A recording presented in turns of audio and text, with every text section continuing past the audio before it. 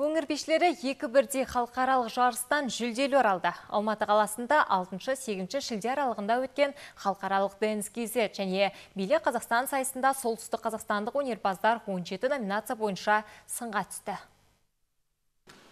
Народная мастерская современной хореографии би тобының құрылғанына биыл 10 жыл. Жақында ғана жергілікті ұжым Алматы қаласында өткен данс кейзет және биле Қазақстан сайысында өңір намысын абыроймен қорғап келді. Екі сайыс қорытындысы бойынша жергілікті бишілер екі бірінші орын, алты гран-при және супер гран-при егер атанды. Ұжым жетекшісінің айтуынша олар бұл сайысқа тыңғылықты дайындықпен барған. Наша группа состояла из 29 танцоров и... Біздің тобымыз 29 биші мен 2 жетекшіден тұрды. Сайысқа 10-18 жас аралығындағы бишілеріміз қатысты. Көрсеткен би қойылымымыз төрешілердің таңдайын қақтырып, жүлделі орынға ие болдық. Бұл қуантарлық жағдай. Сайысқа мықтап дайындалғандықтан еңбегіміздің жемісін көріп отырмыз. Алматыда өткен сайысқа қатысқандардың арасында 14 жасар Рустина Елубаева да бар. Байқауда ол бірінші орын мен гран-при егер атанды. Оның бұл ұжымда өнер көрсетіп келе жатқанына жеті жыл. Айтуынша биге ол кішкентай кезінен қызыққан екен.